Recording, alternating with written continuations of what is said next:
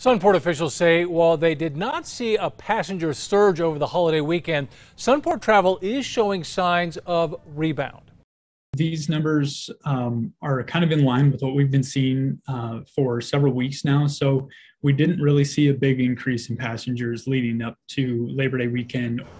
Even so, the Sunport saw about 47,000 passengers pass through its gates over the three day weekend. Now, that's about two and a half times the number from last Labor Day weekend.